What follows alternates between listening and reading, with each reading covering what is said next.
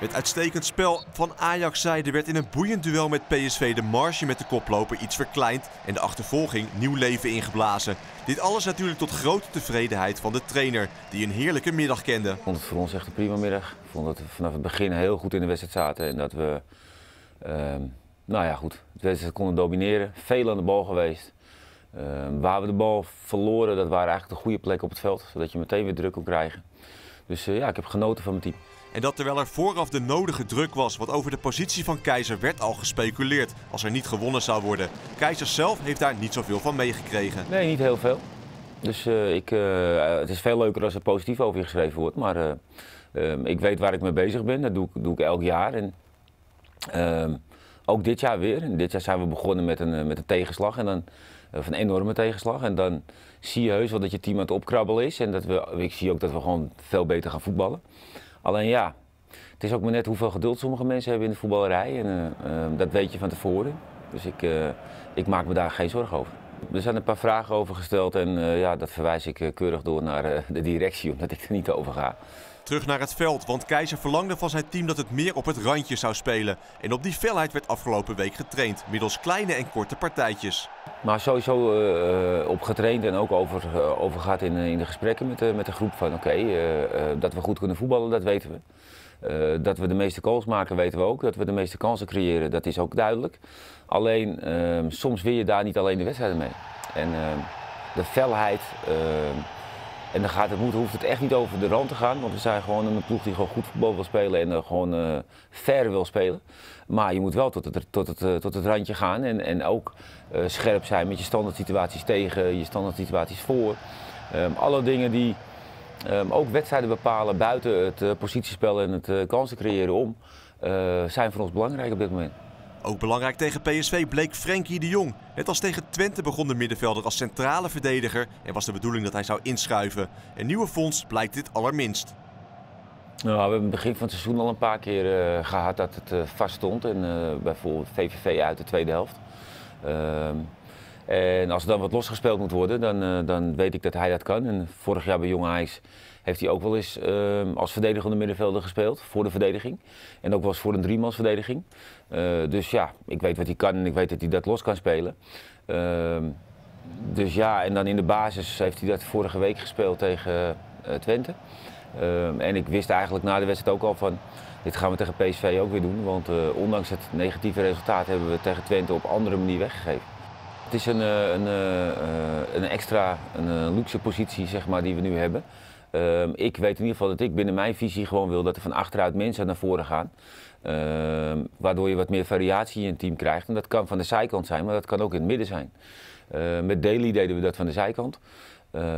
En die is nu geblesseerd. Dus dan is Frenkie een logische keuze in het centrum, denk ik. Uh, maar goed, als, als verdedigers weer terugkomen zoals Daly en zoals Nick, dan, uh, dan, gaan we kijken hoe het er dan voor staat. In de eerste helft was Ajax duidelijk de betere ploeg, alleen werd er niet gescoord. PSV ondernam niet één poging, maar namens Ajax was Dolberg het dichtst bij een goal. Welke puntjes heb je nog op de i gezet in de, in de rust? Nou, wij waren eigenlijk uh, tevreden over de eerste helft. En uh, wat kleine mogelijkheden, de, de bal van Kesper, tweede paal, kopbal. Misschien een paar halve schietkansen. Maar tegen een goed georganiseerd PSV, wat bijna niet over de middellijn komt door onze druk. Uh, waren wij uh, tevreden en ook hadden we het idee dat als we dit vol konden houden, dat ze uiteindelijk wel zouden bezwijken. En, dus eigenlijk meer daarover gehad dan dat we ja, nog hele andere dingen gedaan hebben. De verdiende treffer kwam in de 60ste minuut en werkte bevrijdend. Nou, gewoon blij gewoon, om 1-0 voor te komen. Omdat je dan weet dat zij iets meer zouden moeten komen. Dat deden ze niet. Maar uh, dan heb je in ieder geval de rust van je team. Dat ze niet hoeven te gaan jagen op doelpunten en geforceerd gaan voetballen. Waardoor je misschien meer balverlies zou kunnen leiden. Wat weer zou kunnen leiden tot counters voor PSV. Dus dat was eruit. En dan, dan weet je ook gewoon, oké, het team zit zo goed in de wedstrijd. doorgaan en kijken of we de tweede kunnen maken. En die viel gelukkig snel.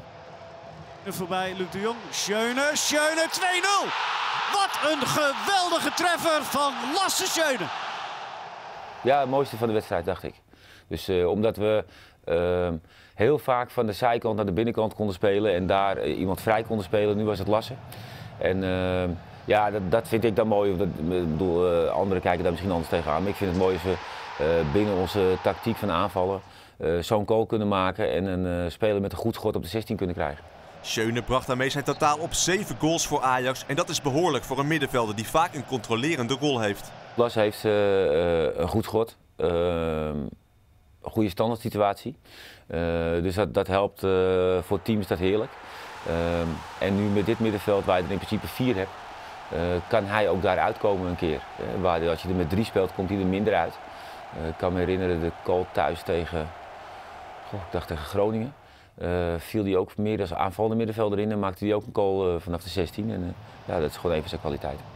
Met de vorm van David Neres zit het ook wel goed. De Braziliaan is door zijn goal en assist uitgegroeid tot meest waardevolle speler van de eredivisie natuurlijk echt de handen binden voor de tegenstander, dus je hebt je handen vol aan hem. Ehm, eh, er zijn ook nog zat punten die we kunnen verbeteren, denk ik. En, ehm, eh, maar goed, eh, hij heeft een heel hoog rendement.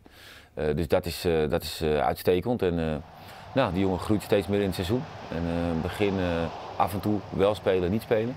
En nu al een hele tijd basisspeler. En nou ja, elke week laat hij mooie dingen zien. Dus wat leuk voor het, voor het publiek bij Ajax en ook goed voor ons. Er zitten wel wat verbeterpunten in. Als ik bijvoorbeeld kijk naar het voorzetje wat hij met rechts had moeten geven. Waar Kesper dan vrij voor de kool had gekomen. Uh, dat was niet zo op maat, of niet goed. Uh, dus uh, zijn rechterbeen kan, moet, moet beter. En doet heel veel met links. Dus ja, dat zou nog meer gevaar op kunnen leveren. Dus nou ja, ik denk ook een hartstikke jonge jongen nog, dus dat gaat echt wel lukken. Donny van der Beek tilde de eindstand naar 3-0. En dat betekende een goede overwinning. Drie punten inlopen op PSV. En dus is de achtervolging in volle gang. Wij hebben gisteren gedaan wat we moesten doen. Uh, en we moeten daarmee doorgaan. Ik vind dat we uh, uh, van ver komen. En eh, dat we ehm, ja, de, de, de, spirit in het team is, is enorm belangrijk, dat zie je nu. Uh, dat moeten we vast zien te houden en dan kunnen we nog een eind komen.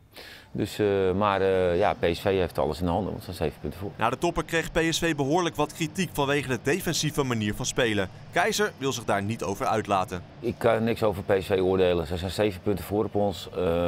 Ik vind dat wij het heel goed gedaan hebben. Wat zij daar tegenover stellen, daar zullen zij mee bezig zijn. En, uh, ik ben niet bezig met PSV hoe zij doen. Ik denk dat PSV een heel goed team is.